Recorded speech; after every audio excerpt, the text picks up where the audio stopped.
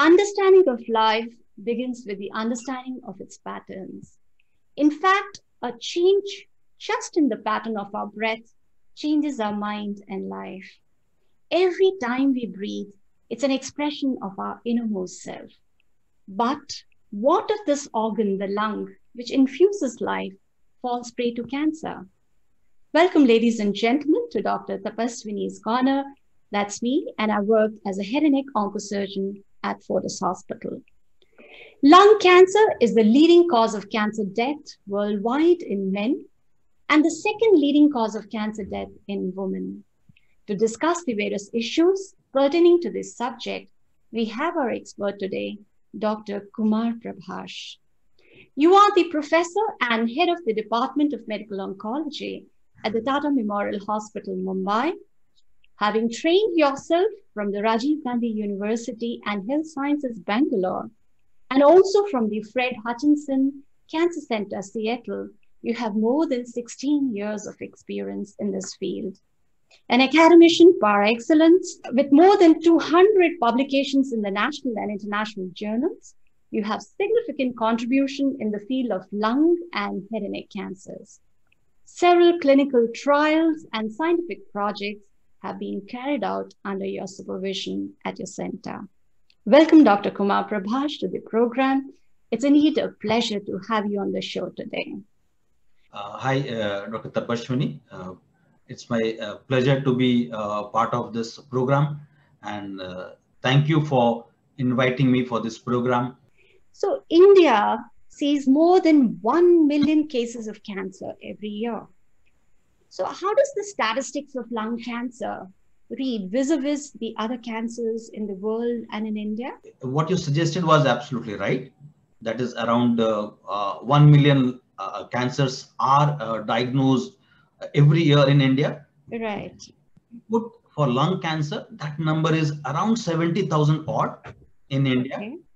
Mm-hmm. And that puts it uh, behind the head and neck cancer in men as the commonest cancer. Now, if you put this number in a one other way, that what is the incidence per 100,000? And that is around 60 plus in uh, US or in Western world as compared to eight or nine in India, okay. suggesting that it is one of the uh, commonest cancer in men in India, but as compared to Western world, right. the number and the risk of the patient getting this cancer is uh, lesser in our population. So who are these high risk patients? The most important factor is the patients or the people who smoke. Uh, we do have some other factors. I'll come back to smoking after enumerating some factors. So you have a people exposed to radon. So for example, people having uh, stones and bricks, which we use it to make houses mm-hmm. and radon in the air, they get trapped. And okay. we do get exposed to radon for years altogether. Apart mm-hmm. from that, people working in areas right. where they get exposed to asbestos, they get exposed to chromium. So if they get exposed to these things in a mm-hmm. place they work or they live, then again they get predisposed to lung cancers. Okay. Apart from that, people who receive radiotherapy in chest area for some other reason. Right. For example, breast cancer. Then again, they have more chance of having know, lung cancer. Mm-hmm. There is some evidence that if the family members have lung cancer, okay, then some predisposition for lung cancer in the family. Okay. But that looks primarily because of the environment you are in, because the family lives in the same house, where you have a smoking happening, where your radon is there. So that may be the reason why if you see in family, you have a cancer and some other family also member gets lung cancer. Some group of patients where you do have hereditary, hereditary lung cancer. Okay. Apart from that, don't forget the diet that when people were given beta carotene and they were smoking, the lung cancer number increased. What is the percentage of uh, lung cancers which is attributed to smoking? Majority of the lung cancer, 90 out of 100 lung cancer, mm-hmm. by and large is because of smoking. Trend okay. is changing a bit.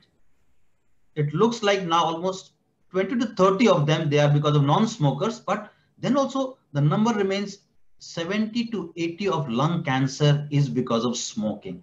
What it means is if you do smoking, the chance that you get lung cancer becomes almost 20 to 30 times higher as compared to who is not a smoker.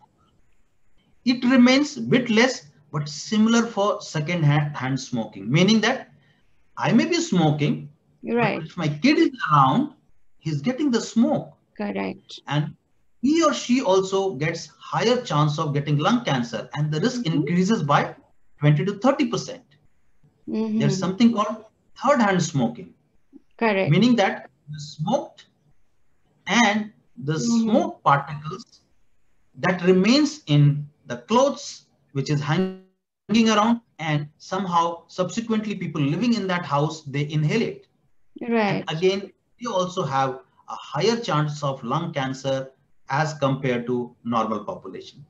So uh, i think a little uh, more detail that we would love to know is uh, does it depend upon how much you know number of uh, packs that an individual smokes or the age at which it was initiated or at times we get to hear there are some filtered non-filtered cigarettes in the market. And there's a description of the amount of nicotine which it's uh, you know the cigarettes contain. So are these factors which influence how easily uh, an individual can fall prey to cancer lung cancer especially? Uh, you know, very useful uh, uh, question. Because if we want to understand lung cancer, we need to know smoking. Uh, right. Know, and this uh, information is useful for people to decipher how good or bad is tobacco and smoking. True. So yes, uh, first of all, we need to you know remember and the take-home message should be any smoking is bad. Correct. A single cigarette a day also disposes lung cancer. Now, having said that, mm-hmm. more the number of cigarettes we take, the more the chances of a cancer happens. And in fact, there is some definitions for when we how do we define heavy smokers. So we call it 25 cigarettes a day. If we take or more, we call it heavy smokers. But mm-hmm. again, coming back, a single cigarette also predisposes to lung cancer. Subsequently, what is the age earlier you start more you're going to smoke for life more the chance of having lung cancer the content part so we divide into two part nicotine and tar. Nicotine mm-hmm. doesn't produce cancer but it makes you addicted to uh, you know cigarette. Absolutely. Tar tar is the toxic part. That's the right. toxic chemical which is there in the cigarette and right. which produces us to uh, uh, lung cancer. And that mm contains chemicals. Almost 72 of them has been identified which is worse mm than the chemicals what we see in the bathrooms but yes mm they do predispose to uh, you know lung cancer people agree any amount of tar is bad so dividing them in this different group doesn't help in understanding that if you take lesser amount of tar uh, uh with the cigarette with lesser amount of tar you're going to get less number of cancer no the cancer mm-hmm. predisposition remains the same in this uh, patients. People try to divide filtered and non-filtered, but again, doesn't look like it help. You're uh-huh. taking filtered cigarette or non-filtered cigarette, looks uh-huh. like predisposition to lung cancer remains the same. Oh. So cigarette is bad in any form, almost Correct. any number. Yes, that's the message which should go to the audience. But uh, Dr. Kumar, we often hear our patients uh, lamenting that cancer struck only after I stopped smoking. What would be your comments be on this? I agree. These are very important uh, uh, uh comments we get from our uh, society uh, members and our many times patients.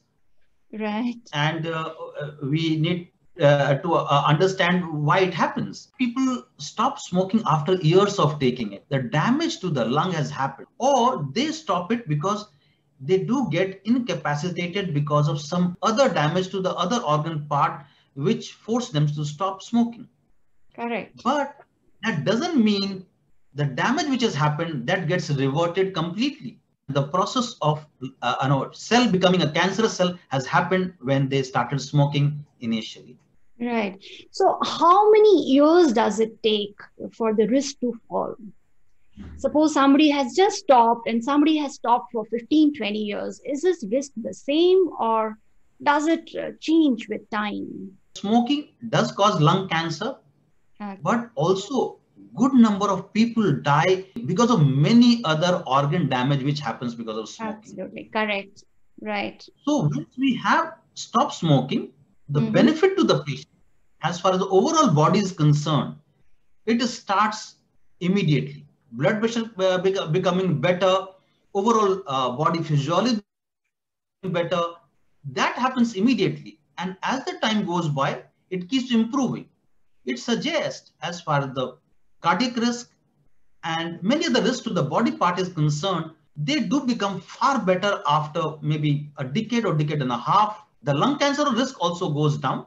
Unfortunately, lung cancer risk never becomes totally normal to the population. Some part of it remains in your body, which maintains the little bit of risk for your lung cancer otherwise. Uh, you know, when we are trying to encourage our patients to quit smoking, there are different ways that we adopt. One of them, which was instituted, was the use of e cigarettes. But does this e-cigarette also have negative impact on the system? So uh, this is uh, you know one of those uh, important event in the society which happens where science doesn't play a part. And what science says for e-cigarette, that e-cigarette mm-hmm. is a mixture of things not well defined. Many of them has nicotine, many of them has heavy metals, many of them has particles, and many of them has flavoring agent Right. All of them can damage the lung. So e-cigarette doesn't help in uh, uh, stopping smoking. In fact, it what I can say that it uh, you stop uh, one addiction and you, yeah. it has led to another addiction and damage to the body remains similar. Correct, correct. Now, uh, uh, talking something beyond smoking, you know, we look at our changing landscape of the urban and the rural society. So, how do you think it has really made urbanization, commercialization? How has it, it impacted this disease? So, uh, urbanization uh, uh, has had an impact, uh, mm-hmm. not as big as uh, I'll say breast cancer, uh, where urbanization leads to a lot of lifestyle changes. True. Here, yes, there is a lifestyle change because of urbanization. Two important thing happens here. Uh, one is yes, there is a more chance of people smoking in cities as compared mm-hmm. to in a rural area. Yeah. Second part is that uh, pollution is definitely far worse than cities as compared to rural areas. Mm-hmm. And these two things, uh, yes, leads to uh, you know more chance of having uh, uh, you know lung cancer in urban area as compared to a rural, rural area. Right. So in the rural setting, we have uh, you know wood burning and the coal burning as a fuel for you know making our food and everything is still uh, is prevalent. So does this also uh, have some influence? Uh, yes. Uh, you know any kind of uh, pollution where you have particles which gets into in the lung and they get deep seated there, it increases the chance of lung cancer. If you use wood, the chances of lung cancer increases two to three times. Smoking, mm-hmm. it increases by 30 times. That's the reason the difference in the number in rural and urban area. But what you uh, highlighted was very important that yes, avoiding the use of pollutant inside house in various form it will lead to decrease in the lung cancer in these areas. And this is one of the important risk factor there. Right. Very well said, Dr. Kumar. But million dollar question, how does one know that one has lung cancer? What are the signs and symptoms? There are, uh, uh, you know, no very specific classical signs and symptoms, but some of the mm-hmm. things which we need to remember uh, when we can think about uh, lung cancer. If you're a smoker uh, uh, and you have been smoking for some time, mm-hmm. and if you have a cough which is persisting, not going with the, your regular treatment, right. hemoptysis, that is the blood in the and it is coming and uh, coming and going and not going away completely in uh, know i'll say let's put it two weeks. If you have uh, some unknown weight loss okay. you have some unknown symptoms of uh, you know pain in the bony area uh, uh, you know some back then which is not going away. It is important that these can be signs and symptoms of lung cancer it is good to talk to your doctor if you have these symptoms. Right. But there was uh, decades ago, you know, when tuberculosis was so prevalent, and even we get to see it very common in it's so common in our country. So how does one differentiate between the two?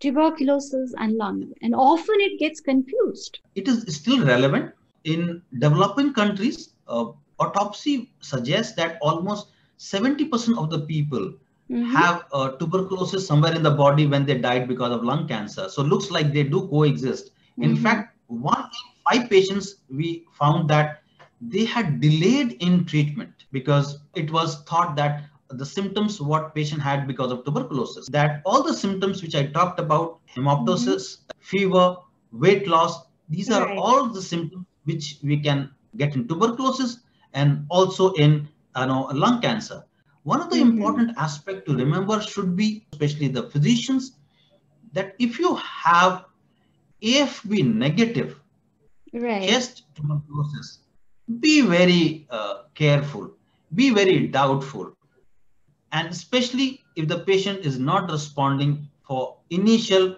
three to four weeks of AKT, then the chances of us missing the lung cancer will be far lesser. Okay. So, other than tuberculosis, are there other benign diseases uh, which increase the risk of lung cancer?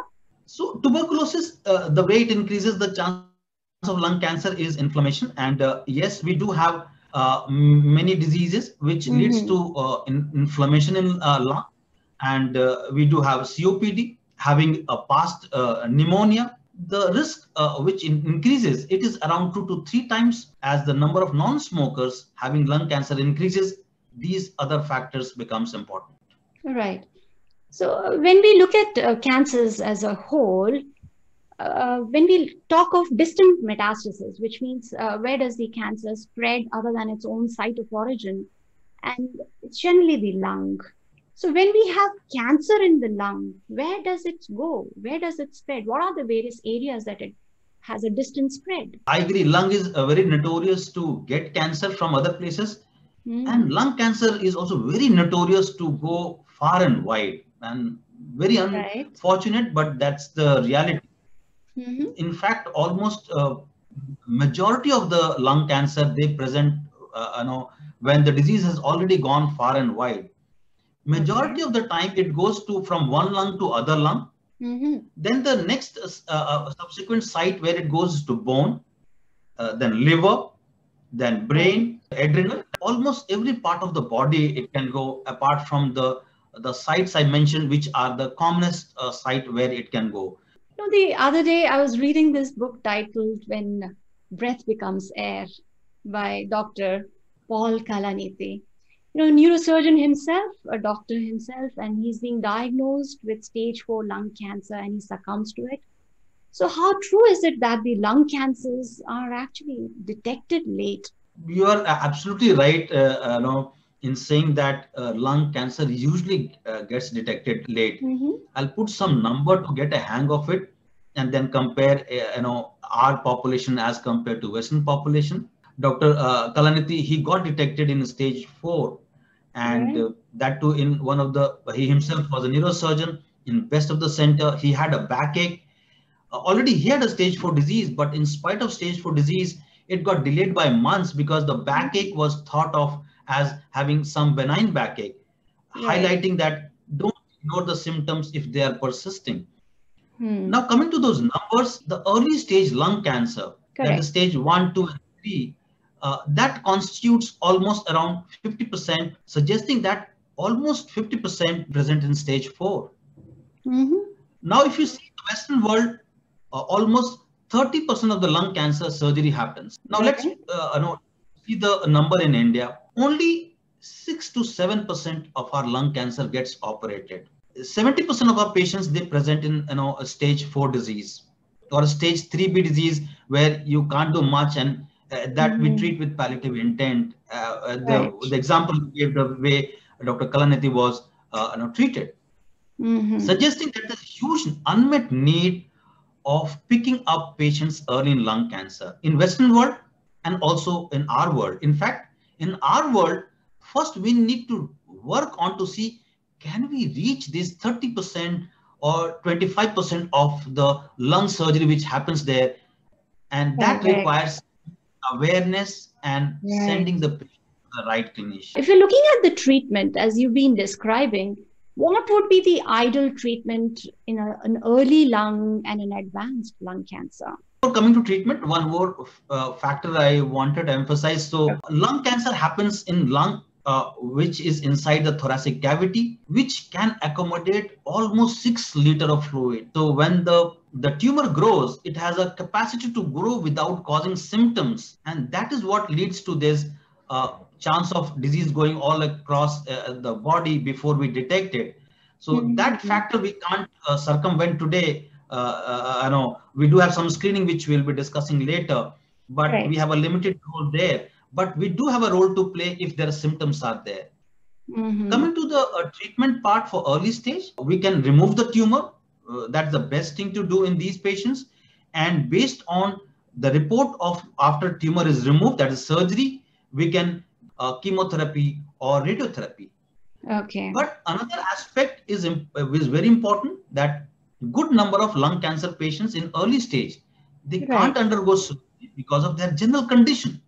In okay. that situation, you have a good radiotherapy, which mm-hmm. can be given and which can control the disease very well in this setting. And we call it by the name of SBRT. It's primarily a precision based radiotherapy. Well, Dr. Prabhash, in patients where the disease we feel is incurable, do we have anything to offer for them? Any palliative uh, measures do we take for them? If you have asked me this question around 20 years back, I would have said right. um, hardly any. Okay. But today's time, there are uh, promising a lot of good treatment. Okay. So if you take put a number to it, in this advanced stage disease patients, if you would have treated the patients around uh, 20 years back, the average life of these patients, if it was around six to eight months, mm-hmm. in 50% of them, where we can do some special marker and give them treatment based on the marker, then the average life of these patients are around four to five years now. Oh. I we are not curing them, but it becomes right. promising from six to eight months to almost 50 to 60 months for these patients. So that becomes a useful change in these patients. And this is what we call targeted therapy. Uh, second promising development has been that if you these uh, uh, genetic markers are negative or mutations mm-hmm. are negative, okay. and you can give immunotherapy to these patients, then in the past, if uh, uh, you know only 5 out of 100 patients to survive beyond 5 years, there is a chance that 30 out of 100 patients will survive beyond 5 years. Mm. I won't say that this is miracle, but this is a promising development for lung cancer in recent past. Lovely. But lung cancer vis-a-vis other cancers. Now, if you look at the fact sheet of uh, lung cancer and its survival, five-year survival of lung cancer patient vis-a-vis other cancers, what are your comments on it? So uh, lung cancer is uh, one of those cancer which has got one of the uh, worst. It is uh, uh, better than what it was, but now mm-hmm. also it remains worse. In fact, if you want to uh, club it together, the number of patients who dies because of lung cancer is more than clubbing the prostate cancer, the mm-hmm. know, breast cancer, the stomach cancer, right. the head and neck cancer, if we club all of them together, more number of uh, you know uh, patients dies because of lung cancer. So prognosis is poor. Okay. Uh, yes, what I talked about that it is improving as compared to what it was 15, 20 years back. So lot many and lot much work to be done in lung cancer to improve outcome. Right, I understand.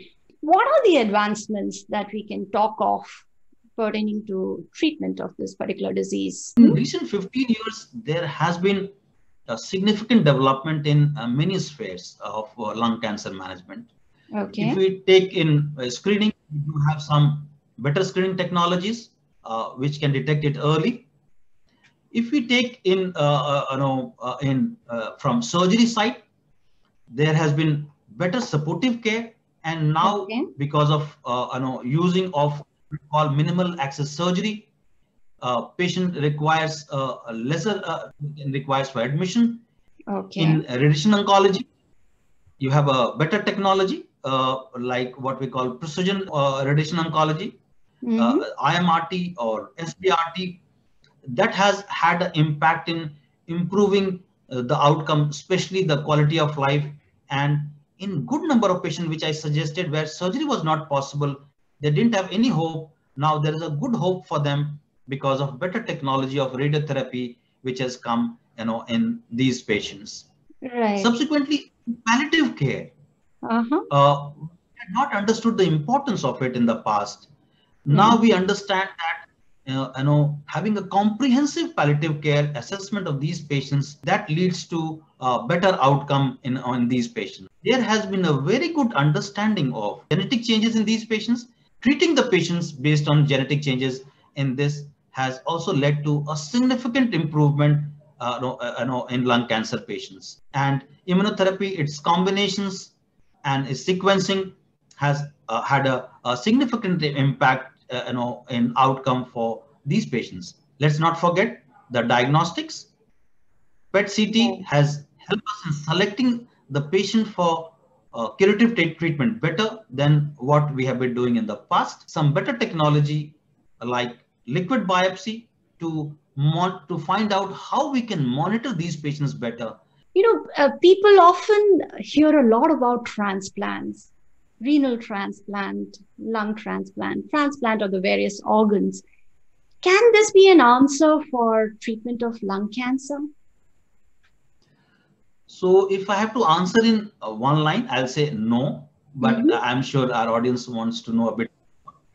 Uh, people have tried, uh, you know, uh, transplanted lung cancer. Somehow, as we have understood in the uh, discussion in last, uh, you know, almost 40 minutes odd, is that lung cancer is a very aggressive disease, and right. lung transplant it is a major you know intervention.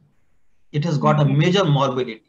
Mm-hmm. And what people found that if you do lung transplant in uh, you know, lung cancer patient, two third of them they come back. But in routine care, lung mm-hmm. transplant for lung cancer, no, no. Okay, but then where where is it possible?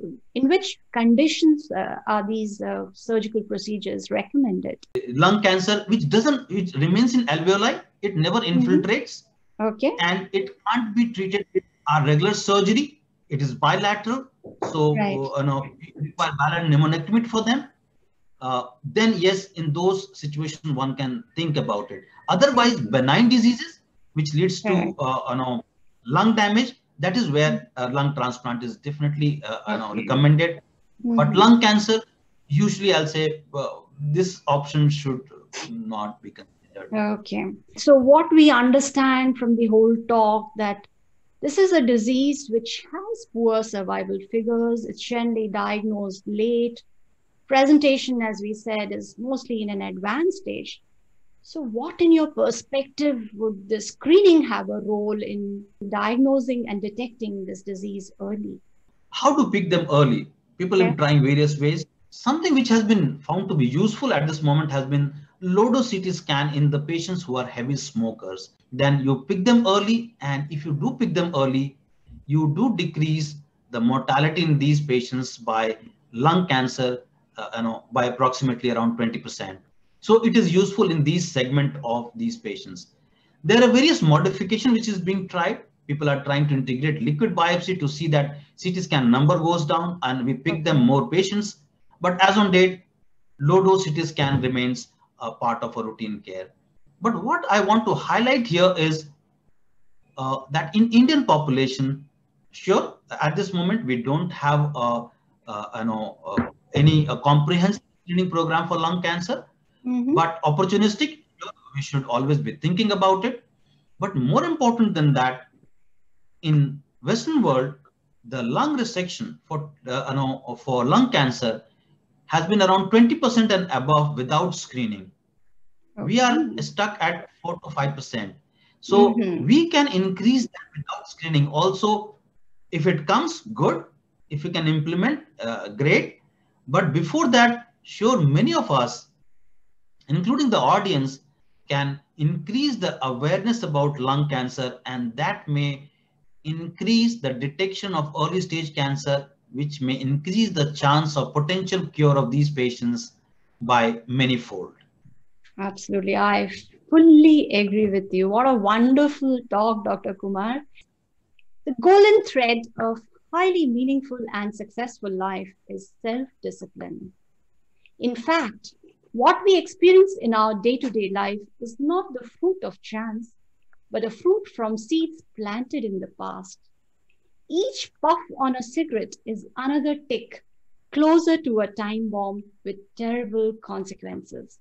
But the choice is ours. We are all authors to our own life stories. Thank you so much, Dr. Kumar. Thank you to all the listeners. Thank you once again and see you next week with another episode. Till then, goodbye.